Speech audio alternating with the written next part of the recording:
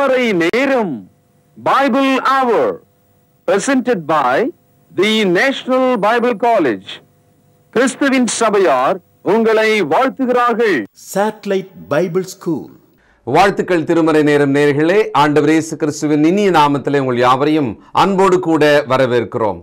கிறிஸ்துவுக்குள்ளாக வான்வழி வேத வகுப்பு வழியாய் உங்களை சந்திப்பதிலே மகிழ்ச்சி அடைகிறோம் தேவனுடைய வாக்கியங்கள் நம்முடைய வாழ்க்கையில ஆகாரம் போல ஔஷதமாக ஆத்துமாவின் உயிர்ப்பாக இருக்கிறது.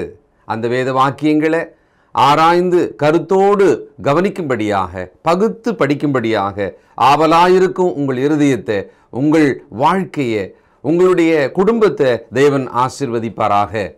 மறக்க முடியுமா? யாராவது உங்களை பார்த்து கேட்டிருக்காங்களா?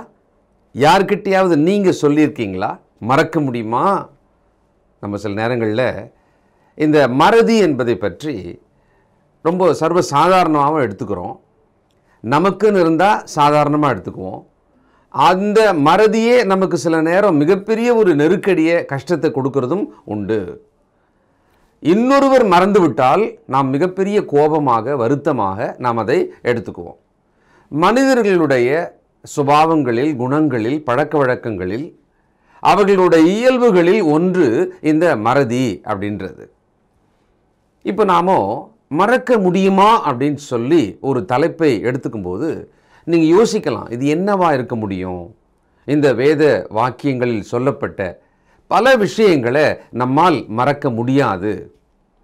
நம்முடைய தனிப்பட்ட வாழ்க்கையில் மனுஷராகிய நம்முடைய இயல்பை பற்றி வேதம் எப்படி சொல்லுது? உதாரணமாக யாக்கோபு முதலாம் அதிகாரம் இருபத்தி மூன்று இருபத்தி நான்கு. அதில் ஒருவன் கண்ணாடியிலே போய் தன் சுபாவ முகத்தை பார்த்து அங்கிருந்து அவன் விலகும்போது அந்த கண்ணாடியை விட்டு அவன் விலகும் பொழுது தன் சாயல் என்னது என்பதை அவன் மறந்து விடுவான். அப்போ பாருங்க ஒரு கண்ணாடியில் முகத்தை பார்க்குறோம் அந்த கண்ணாடியை விட்டு விலகுகிறோம் உடனே நம்முடைய சாயலை நம்ம இப்போ பார்த்ததை சில நொடிகளுக்கு முன்பு பார்த்ததை மறக்கிறவர்கள். சில நேரம் வாழ்க்கையிலே காயங்கள் மறக்க முடியவில்லை. அவமானங்கள் மறக்க முடியவில்லை. சிலர் சொன்ன ஒற்றை சொல் மறக்க முடியவில்லை. நாம் பிறருடைய வாழ்க்கையிலே ஏற்படுத்திய மிகப்பெரிய பாதிப்பு மறக்க முடியவில்லை. அப்போ நமக்குள்ள சில விஷயங்கள் மறக்க முடியுமா? இதையெல்லாம் மறக்க முடியுமா என்று இருக்கலாம். இன்றைக்கு இந்த மறக்க முடியுமா என்கிற ஒரு தலைப்பை எடுத்துக்கொண்டு அதன் வழியாக வேத வசனங்களுக்குள்ளாக சென்று இவைகளையெல்லாம் நம்மால் மறக்க முடியுமா என்று சிலவற்றை நாம் பார்க்க போகிறோம் மறதி இயல்பானது. சிலருக்கு அதிகமாக இருக்கும் சிலருக்கு குறைவாக இருக்கும். பிரியமானவர்களே தொடர்ந்து வேத வாக்கியங்களை கவனிப்போம்.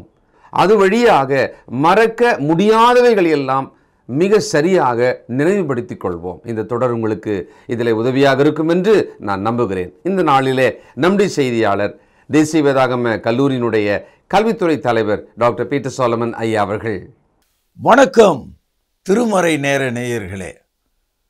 உலகளாவிய கண்மணிகளே பரிசுத்துவான்களே என் அன்பு தோழர்களே உங்கள் அனைவருக்கும் இந்த புதிய நாள் வாழ்த்துக்களை கூறி திருமறை நேரம் என்ற இந்த தொலைக்காட்சி வழியாக ஒரு புதிய தொடருக்குள் உங்களை அழைக்கிறேன். இந்த தொடருடைய தலைப்பு கேன் ஐ ஃபர்கெட் என்னால் மறக்க முடியுமா என்பதுதான் இதனுடைய தலைப்பு. சகோதரர் நம்முடைய வாழ்க்கையில் நமக்கு நாமே பேசிக்கொள்கிற நமக்கு நாமே ஆதங்கப்படுகிற ஒரு விஷயம் என்னால் மறக்க முடியவில்லை மறக்க முடியாத காரியங்கள் எத்தனையோ இருக்கிறது. மறக்க வேண்டிய காரியங்கள் எத்தனையோ இருக்கிறது. இதையெல்லாம் நாம் மறக்க வேண்டும் என்று நினைக்கிறோமோ அது நினைவிலேயே இருக்கும். இதையெல்லாம் ஞாபகத்தில் கொள்ள வேண்டும் என்று நினைக்கிறோமோ அதுவும் மறந்துவிடும். நம்முடைய உடலும் நம்முடைய மனமும் அவ்விதமாக இருக்கிறது. இப்பொழுதெல்லாம் செல்ஃபோன் இந்த கம்ப்யூட்டரை வைத்திருக்கிறவர்கள் ஒரு வார்த்தை சொல்லுகிறார்கள். மெமரி இஸ் ஃபுல் அதாவது இந்த கம்ப்யூட்டர் இந்த செல்ஃபோன் இதுக்குள்ளே சேர வேண்டிய விஷயங்கள் அதாவது நினைவில் கொள்ள வேண்டிய விஷயங்கள் நிறைந்து விட்டது. மெமரி இஸ் ஃபுல் என்று சொல்லுகிறார்கள். அதுக்கு என்ன மாற்று வழி? மெமரியை எடுத்து விட வேண்டும் அழித்து விட வேண்டும். அதை குப்பையிலே தள்ள வேண்டும் என்று சொல்கிறார்கள். அதே மாதிரி தான் செய்கிறாங்க. When memory is full you vacate it you destroy to the dustbin ஆனால் மனிதர்களாகிய நாம் நம்முடைய மனதில் உள்ள தேவையற்றவைகளை நம்மால் மறக்க முடியாது. அதை எடுத்து ஒரு குப்பை தொட்டியில் சேர்க்க முடியாது.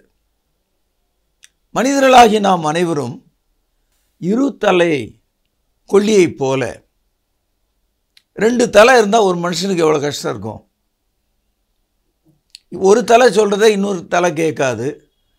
ஒரு தலை நினைக்கிறத மற்ற ஒரு தலை யோசிக்காது. எவ்வளோ பெரிய பிரச்சனை. தமிழில் சொல்லுவாங்க மத்தளத்துக்கு ரெண்டு பக்கம் அடின்னு. அது மாதிரி நம்முடைய மனசானது மறக்க வேண்டியவங்களே மறக்கிறது இல்லை நினைக்க வேண்டியதை நினைக்க முடியல. ஒரு கவிஞன் சொல்கிறான் நினைக்க தெரிந்த மனமே உனக்கு மறக்க தெரியாதா? இன்னொரு கவிஞன் சொல்கிறான் நெஞ்சம் மறப்பதில்லை அது தன்னுடைய நினைவை இழப்பதில்லை. நண்பர்களே கணித்துக்குரிய தோழர்களே இந்த நாட்களில் உங்கள் மனம் சார்ந்த ஒரு விஷயத்தை நான் பேச இருக்கிறேன். இதில் நீங்கள் இருக்கிறீர்கள் உங்கள் மனைவி இருக்கிறார்கள் உங்கள் பிள்ளைகள் இருக்கிறார்கள் உங்கள் பெற்றோர் இருக்கிறார்கள் உங்கள் சமுதாயம் இருக்கிறது உங்கள் தேசம் இருக்கிறது. ஒரு மனிதன் உயரமாக அகலமாக இருக்கிற ஒரு ஆலமரத்தை போல் இருக்கிறான். அது மாதிரி நம்முடைய எண்ணங்களும் பறந்து விரிந்து இருக்கிறது வாழ்க்கையில் நாம் எண்ணுவதை தவிர வேறு எதுவுமே கிடையாது. நம்முடைய எண்ணங்களுக்கு பிறகுதான் நம்முடைய வாழ்க்கையே அமைகிறது. அப்படியானால் இந்த மனித உடல் எப்பொழுது மறக்கும்? எப்பொழுது அதை நினைக்கும்? எப்பொழுது அது நினைக்கும்? எப்பொழுது அதை மறக்கும்? இந்த இரண்டு நேர்கோட்டுக்கு எதிரெதிரடியாக நீங்கள் செயல்படுகிறவர்களா இருப்பீங்க. சங்கீதம் நூற்றி நாற்பத்தி ஆறு நான்காவது வசனம். அவனுடைய ஆவி பிரியும் அவன் தன் மண்ணுக்கு திரும்புவான் அந்நாளிலே அவன் யோசனைகள் அழிந்து போகும். இந்த ஒரு வசனம் போதும். நம்முடைய யோசனைகளாகிய மெமரி நினைவுகள் நல்லதும் கெட்டதும் எப்பொழுது அழியும் அல்லது எப்பொழுது ஒழியும்? அதாவது அவனுடைய ஆவி பிரியும் அவன் மண்ணுக்கு திரும்புவான் அந்நாளிலே அவன் யோசனைகள் அழிந்து போகும். அப்படியானால் மரணத்துக்கு பிறகு நம்மால் எதையும் யோசிக்க முடியாது. மரணத்துக்கு முன்னால் வரைக்கும் நமக்கு நினைவாற்றல் இருக்கும். ஒரு சாகர மனிதன் கூட பார்க்கிற ஆற்றல் பேசும் ஆற்றல் கேட்கும் ஆற்றலை இழந்துடுவான். ஆனால் அவனுடைய நினைவாற்றல் இருக்கும். அதனால தான் இன்றைய மருத்துவ உலகம் ஒரு மனிதனை செத்தவன் என்று எப்படி தீர்மானிக்கிறது என்று சொன்னால் அவனுடைய மூளை செத்துவிட்டால் அவன் செத்தவன் என்று சொல்லுகிறார்கள். பிரைன் டெட் என்று சொல்லுகிறார்கள். உடல் செத்த மாதிரி தான் இருக்கும். ஆனால் அவனுடைய நினைவு சாகிறதில்ல. அவனுடைய நினைவு எப்போ சாகிறதுனா அவனுடைய பிரெயின் வேலை செய்கிறத நிறுத்தும்போது அவனுடைய மூளைக்குள்ளே ரத்த ஓட்டம் நின்று விடும்போது அப்போ தான் அவன் உண்மையிலேயே இறந்தவன். சகோதரிகளே நம்முடைய யோசனைகளை யாரால் எண்ண முடியும்? நம்முடைய யோசனைகள் எவ்வளோ பெரிதாக இருக்கிறது? எவ்வளோ கீழ்த்தரமாக இருக்கிறது? கண்களின் நிச்சை மாம்சத்தின் நிச்சை ஜீவனத்தின் பெருமை. ஒன்றியவான் இரண்டாம் அதிகாரம் பதினாறாவது வசனம். இந்த கண்களின் இச்சை நம்முடைய வாழ்நாள் முழுவதும் ஒரு ஆயிரம் இமயமலை போல் இருக்கிறது. மாம்சத்தின் இச்சை சமுத்திரத்தை போல இருக்கிறது. ஜீவனத்தின் பெருமை இந்த உலகத்தில் உள்ள பாலைவனங்களைப் போல இருக்கிறது. அளவே கிடையாது. பாலைவனத்தில் இருக்கிற மணலை எண்ண முடியுமா? கடலில் இருக்கிற தண்ணீரை அளக்க இயலுமா? இமயமலை போன்ற பல மலைகளை நம்மால் முடிவெடுக்க முடியுமா? ஆக கண்களின் இச்சை மாம்சத்தின் இச்சை ஜீவனத்தின் பெருமை. இதற்குள்ள அடங்கி போன மனிதனை அவனால் மறக்க முடியாது. கேன் ஐ ஃபர்கெட் என்னால் அதை மறக்க முடியுமா? சகோதரர்களே இந்த மறத்தல் என்ற ஒரு விஷயத்தில் ஃபர்கெட்டிங் என்ற அந்த விஷயத்தில் நல்ல விஷயங்கள்லாம் நமக்கு ஞாபகத்தில் கொஞ்ச நாளில் கரைஞ்சிரும். காற்றுல அது மறைஞ்சிரும். ஆனால் கெட்ட விஷயங்கள் ஒரு கல் பாறையின் மேலே உளியால் அடித்து ஆழமாக எழுத்தை எழுதிவிட்டால் ஆயிரம் ஆயிரம் ஆண்டுகள் மழை பெய்தாலும் காற்றடித்தாலும் அந்த கல் மேல் பொதித்த எழுத்துக்கள் நிலைத்திருப்பது போல நம்முடைய இருதயத்திலே வடித்துவிட்ட வார்த்தைகள் கருத்துகள் எண்ணங்கள் யோசனைகள் அவைகள் பாவமாக கால் முளைத்து நின்று கொண்டிருக்கிறது. நாம் செய்கிற பாவங்கள் தான் ரொம்ப டீப்பாக நம்முடைய இருதயத்துக்குள்ளே பதிய செய்கிறதாக இருக்கிறது. பதிகிறது.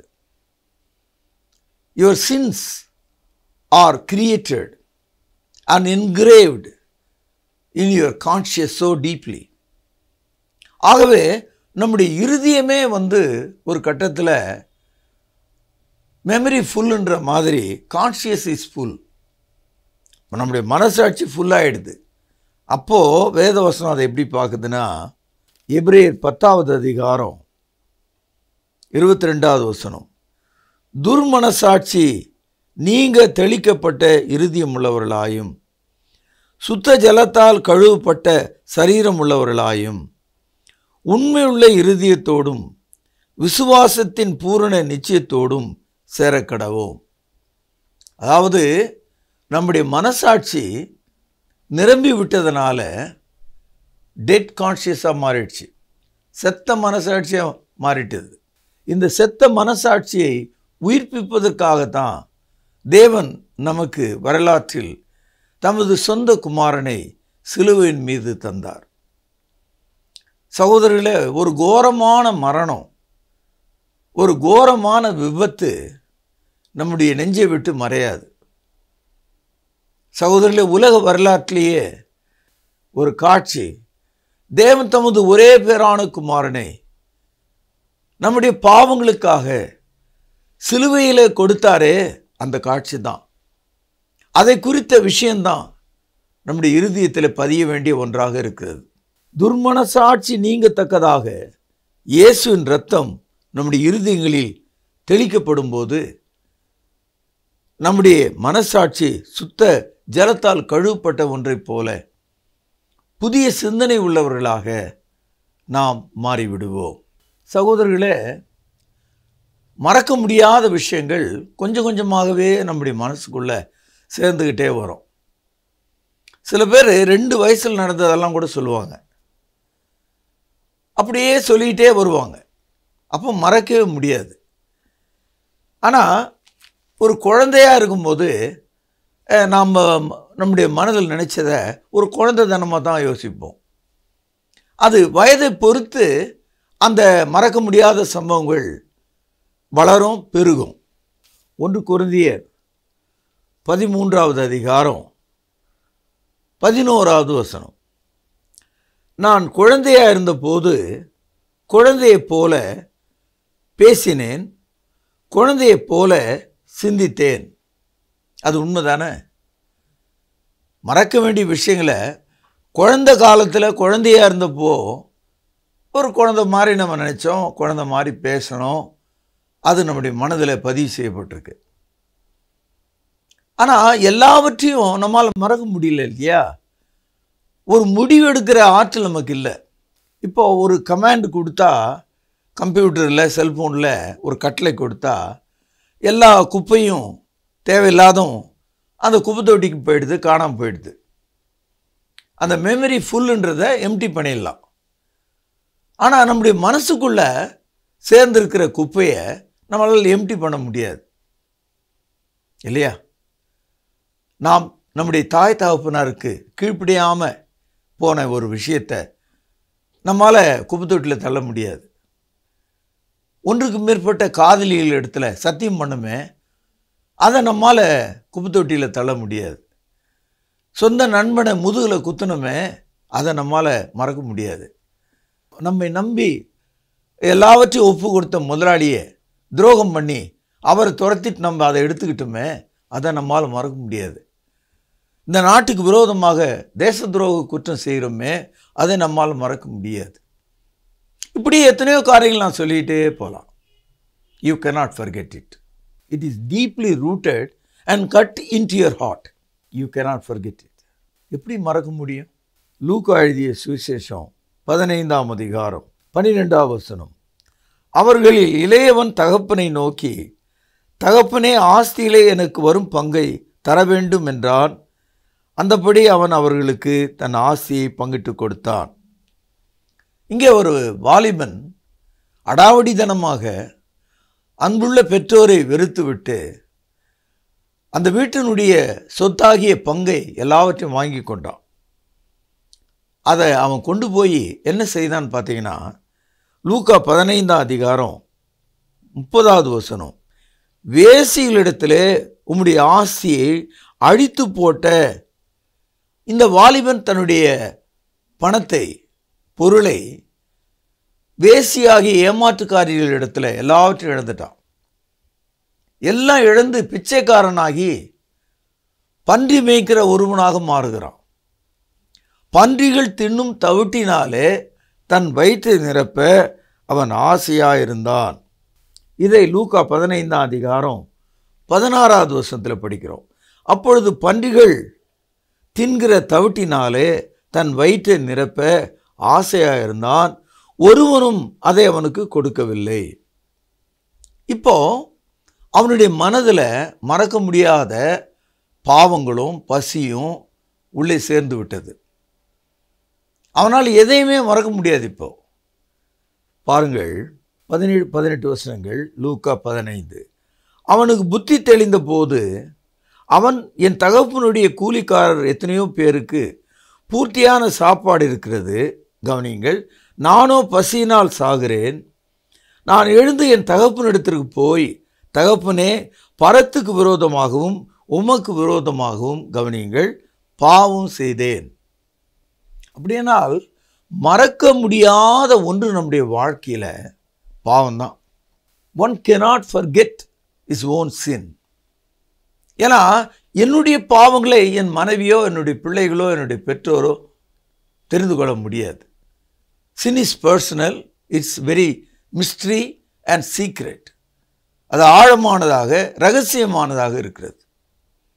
இந்த வாலிபன் தன்னுடைய நிலைக்கு வேதனைக்கு காயங்களுக்கு வருத்தங்களுக்கு மரணத்துக்கு சமீபமாக இருப்பதற்கு காரணம் ஒன்றை அவன் நினைவிலே கொண்டான். அதுதான் அந்த பாவம். வேதாமம் சொல்கிறது ரோமர் ஆறாதிகாரம் அதிகாரம் இருபத்தி மூன்றாவது வசனத்தில் பாவத்தின் சம்பளம் மரணம். When you are cut by the sin you deserve death அவனுடைய ஆவி பிரியும் அவனுடைய யோசனைகள் அந்நாளில் அவனை விட்டு அழியும். ஆகவே மறக்க முடியாத ஒன்று நம்முடைய பாவங்களாக இருக்கிறது. மார்க் எழுதிய சுவிசேஷம் ஏழாவது அதிகாரம் இருபது முதல் ஒரு பகுதியை வாசிக்கிறேன். உங்கள் மனம் இதற்குள் லாய்க்க வேண்டும் உணர வேண்டும் என்று கேட்கிறேன் மனுஷருக்குள்ளே இருந்து புறப்படுகிறதே அவனை தீட்டுப்படுத்தும். இந்த மெமரி ஃபுல்லாகிறதுக்கு காரணம் அது தீட்டுப்படுவதற்கு காரணம் எது? எப்படி எனில் மனுஷருடைய இருதயத்துக்குள்ளிருந்து பொல்லாத சிந்தனைகளும் உபச்சாரங்களும் பேசிதனங்களும் கொலைப்பாதகங்களும் களவுகளும் பொருளாசைகளும் துஷ்டதனங்களும் கபடும் காமவிகாரமும் வன்கொண்ணும் தூஷணமும் பெருமையும் மதிகேடும் புறப்பட்டு வரும். மறக்க முடியாதவைகள் இவைகள் தான் இவைகளின் ஆழத்திலே அடிமட்டத்திலே நாம் விழுந்திருக்கிறோம். எப்படி என்னால் இதை மறக்க முடியும்? இதனால் என்னுடைய இருதயம் ஆழ உழுது காயப்பட்டு கிடக்கிறது. நான் அதற்குள்ளே அடிமைப்பட்டு கிடக்கிறேன். ஒரு ஆள் புலி வருதுன்னு சொல்லி பயந்து ஓடி ஒரு மரத்து மேலே ஏறிட்டான்.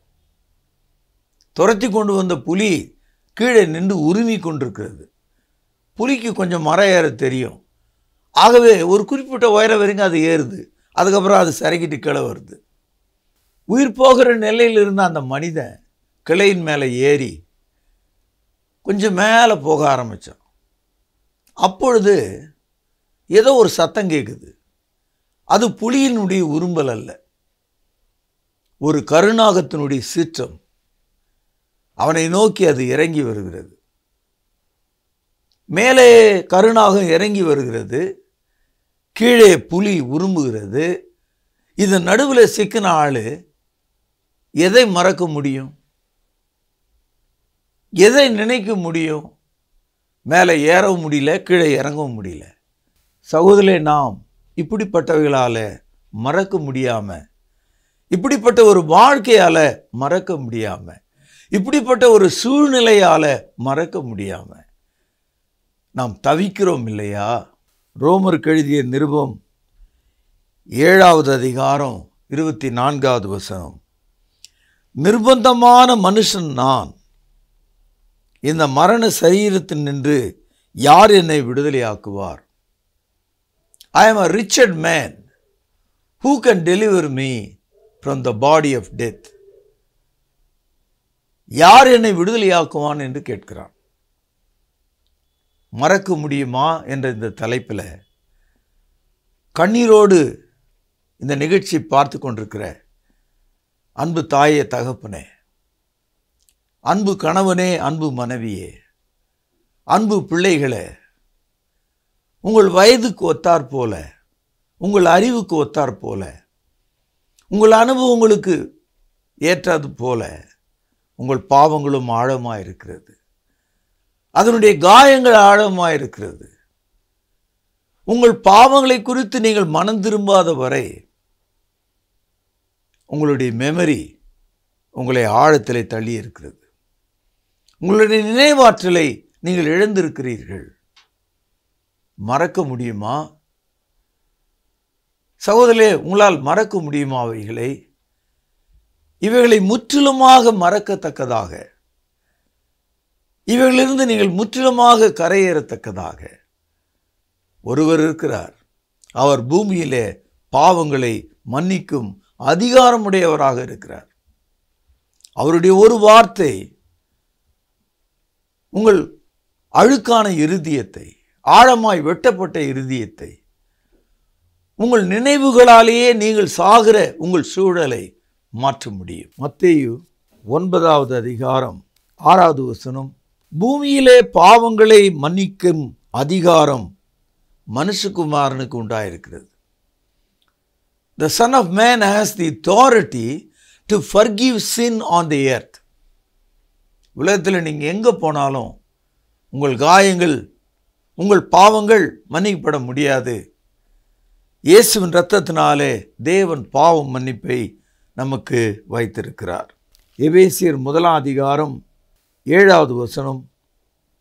அவருடைய கிருபையின் ஐஸ்வர்யத்தின்படியே இவருடைய இரத்தத்தினாலே பாவ மன்னிப்பாகிய மீட்பு இவருக்குள் நமக்கு உண்டாயிருக்கிறது. ஆகவே என் அன்பு சகோதரர்களே இயேசு கிறிஸ்துவின் ரத்தம் சகல பாவங்களையும் நீக்கி நம்மை சுத்திகரிக்கும் என்று ஒன்று யுவான் முதலாம் அதிகாரம் ஒன்பதாம் வசனத்திலே படிக்கிறோம்.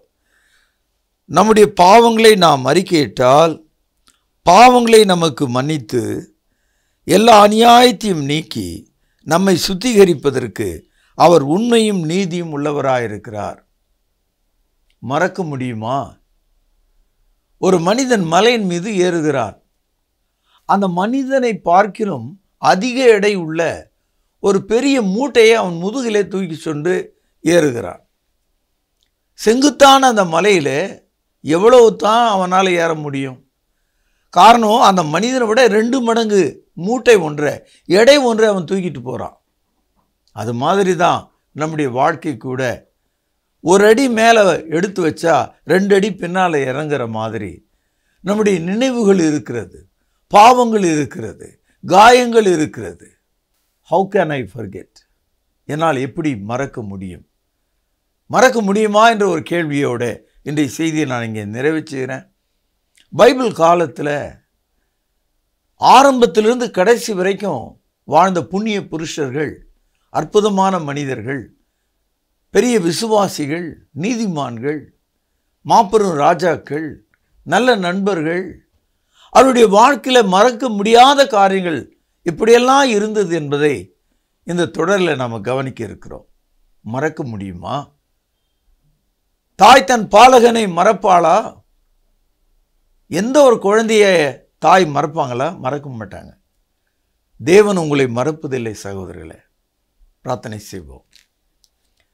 பிரியமான தகப்பனே இந்த அதிகாலையில் நாங்கள் கேட்ட இந்த நற்செய்தி மறக்க முடியுமா? எங்களுடைய உள்ளம் மிகவும் பாடுபடுகிறது. எங்களுடைய மூச்சு பெரிதாக வாங்குகிறது. எங்களுடைய நினைவு எங்களை அழுத்துகிறது. மறக்க முடியாத பல விஷயங்கள் எங்களை துன்பப்படுத்துகிறது. இயேசு கிறிஸ்தனுடைய இரத்தத்தினாலே ஆண்டவரே எங்களுடைய கெட்ட சிந்தைகள் நீங்கவும் பரிசுத்தாவின் ஒத்தாசையினாலே புதிய நற்சிந்தைகள் எங்களுக்குள் உண்டாகவும் எங்களுடைய துர்மனசாட்சி நீங்கத்தக்கதாக இயேசு ரத்தத்தால் தெளிக்கப்பட வேண்டும் என்று நான் செபிக்கிறேன். கேட்ட மக்களை ஆசீர்வதியும். இயேசுவின் நாமத்திலே ஜபங்கேளும் பிதாவே ஆமேன். ஆண்டவராகிய இயேசு கிறிஸ்துவின் இனிய நாமத்தில் திருமறை நேர நேயர்களுக்கு வாழ்த்துக்கள். மறக்க முடியுமா? கேன் ஐ ஃபர்கெட் ஒரு வித்தியாசமான தலைப்பில் இன்று முதல் ஒரு புதிய தொடரை நீங்கள் பார்க்க ஆரம்பித்திருக்கிறீர்கள். நேர்களே மனிதனுடைய இயல்பு அநேக காரியங்களை மறந்து விடுவது. மறக்க வேண்டியதை மறக்காமல் இருப்பதும் நினைக்க வேண்டியதை நினைக்காமல் இருப்பதும் கூட மனித இயல்புதான். பிரிமானவர்களே கணவன் செய்த தவறுகளை மனைவி மறக்காமல் இருப்பதுதான் அவர்களுடைய பிரிவுக்கு வழி வகுக்கிறது. நாமும் கூட அநேக நேரங்களிலே தேவன் செய்த நல்ல காரியங்களை நமக்கு கொடுத்த ஆசீர்வாதங்களை மறந்து விடுகிறோம். இந்த தொடர் மூலமாக ஒரு முக்கியமான விஷயத்தை நாம் தெரிந்து கொள்ள வேண்டும். தேவன் நம்முடைய பாவங்களையெல்லாம் மறந்து மன்னித்து கடலின் ஆழத்திலே தள்ளிவிட்டது போல நாமும் கூட நம்முடைய சக சகோதர சகோதரிகள் செய்கிற பாவங்களை மன்னித்து மறப்பது நன்று. அது மட்டுமல்ல தேவன் எதை நினைவு கூற வேண்டும் என்று சொல்லியிருக்கிறாரோ அதை தேவனுடைய வார்த்தையின்படி நினைவு கூற வேண்டியது அவசியம். இந்த நாளிலே மறக்க முடியுமா என்ற தலைப்பில் நாம் கேட்ட முதலாவது அறிமுகச் செய்தியில் உங்களுக்கான பரிசு கேள்வி இதுதான். நினைவை நாம் எப்பொழுது மறந்து போகிறோம்? கேள்வி கொஞ்சம் கடினமானது. முதல்ல அதை புரிந்து கொள்ளுங்கள். வசனத்தின் துணை கொண்டு இன்று கேட்ட செய்தியின் அடிப்படையில் சரியான பதிலை உடனே எழுதுங்கள். நினைவை நாம் எப்பொழுது மறந்து போகிறோம்? எழுதிக்கொண்டீர்களா? சரியான பதிலுக்கு நல்ல பரிசுகள் காத்திருக்கிறது.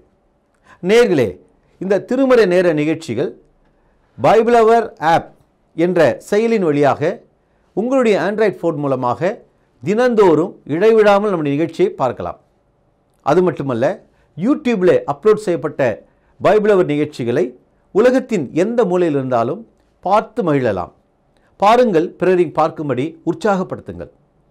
தொடர்ந்து மறக்க முடியுமா? கேன் ஐ ஃபர்கெட் என்ற இந்த தொடரை பார்த்து இதற்குரிய கருத்துக்களை எங்களிடத்தில் பகிர்ந்து கொள்ளுங்கள். உங்களுடைய ஜெபக்குறிப்புகளை எழுதி அனுப்புங்கள். உங்களுக்காக நாங்கள் ஜெபிக்கிறோம். மேலும் நீங்கள் இன்னும் திருமுழுக்கு பெறவில்லை என்றால் பின்வரும் முகவரியில் உள்ள கிறிஸ்துவின் சபையை அணுகும்படி அன்போடு கேட்டுக்கொள்கிறோம். தொடர்ந்து இந்த நிகழ்ச்சியை பாருங்கள். மீண்டும் உங்களை சந்திக்கும் வரை நம்முடைய கத்தராக இயேசு கிறிஸ்துவின் கிருபை உங்கள் அனைவரோடு கூட இருப்பதாக. தொடர்பு கொள்ள வேண்டிய முகவரி திருமறை நேரம் ஐம்பத்தி எட்டு சர்ச் தெரு குமரன் நகர் சென்னை ஆறு லட்சத்தி எண்பத்தி இரண்டு தொலைபேசி எண் பூஜ்ஜியம் நான்கு நான்கு இரண்டு ஐந்து ஐந்து பூஜ்ஜியம் பூஜ்ஜியம் எட்டு எட்டு இரண்டு. செல்போன் ஒன்பது மூன்று எட்டு ஐந்து ஐந்து பூஜ்ஜியம் பூஜ்ஜியம் டு எட்டு இரண்டு. கத்தாவே தேவர்களில் உமக்கு பானவர் யார்? வானத்திலும் பூமியிலும் உமக்கு பானவர் யார்? உமக்கு பானவர் யார்?